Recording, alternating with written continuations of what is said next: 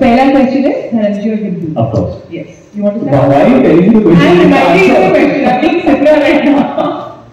No tick Sipra तो धर्म जी के साथ पहली बार मैंने काम किया है और आपने पहले काम किया is this also your first My first, it's our first यार मतलब मैं क्या कहूँ मतलब just to share screen space with him is an honour और बहुत ही लविंग है और बहुत ही कैरिज्मेटिक हैं, उनकी शक्ल पर एक नूर है और उनकी जबान बहुत साफ़ है और वो बहुत खूबसूरत पोएट्री बोलते हैं और जब भी आपसे मिलते हैं, उनके हाथ में, उनके हाथ में प्यार है यू नो तो बस होपफुली उनकी थोड़ी सी दुआएँ मुझे मिल जाए, आशीर्वाद मिल जाए।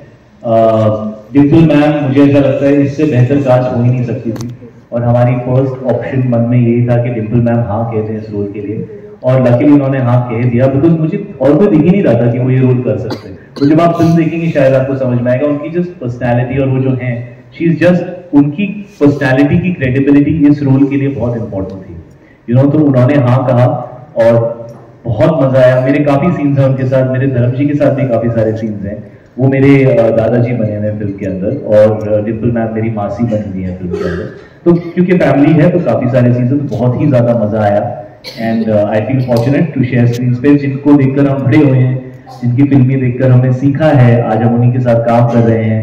We are very fortunate to be there like like he said, even um, मेरे लिए बहुत बड़ी बात है उन लोगों के साथ काम करना। हालाँकि मुझे उतने सीन्स नहीं मिले जितना मैं चाहती थी।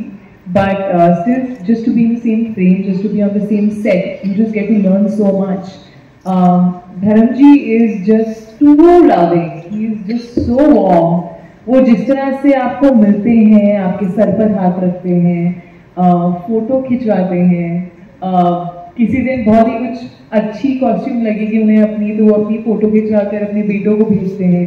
फिर उनकी बेटी उन्हें वॉइस नोट भेजते हैं, पापा you looking so good so I just feel like he is a family man he is so loving he is got so much warmth and he is got so much zest for life. Like, you know, when he's acting um he's really sharp and he's just superb and like he, Improvise कितना करते yeah हैं। और वो इतना हमें हंसाते हैं उनकी improvisation इतनी bang on निकलती है you know that sometimes we forget our lines and we're like oh no we can't make him do another take um, so he's lovely I've had such a pleasure working with him uh, Dimple ma'am I think is just the coolest I think her personality I remember for the first time I met her uh, at the airport and just what she was wearing how she was carrying herself उनके चश्मे कुछ पांच colours थे उन च- उस चश्मों में and uh, just the aura that she brings you know everywhere even on screen um, she's just a very very um, I don't know how to explain it like really sure